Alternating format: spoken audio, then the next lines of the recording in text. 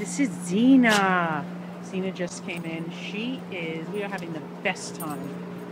We've been out here for quite some time. I just can't put her back. I love her so. I, I don't know, she's, uh, she's a pit, but she's got a mix. I don't know what's in there. She is so gorgeous, so friendly, so affectionate. I know, I love you. Yeah, she loves to be petted. Yeah. You like that, baby? She's gorgeous, in very good health. Skin is great. I know, I love you. She hasn't been safered yet because she just came in. I hope she'll do really well. She should.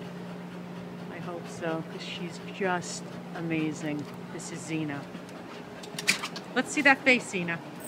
Come here, baby. Show that face. Come here. there we go. she just wants to hug and kiss. Xena.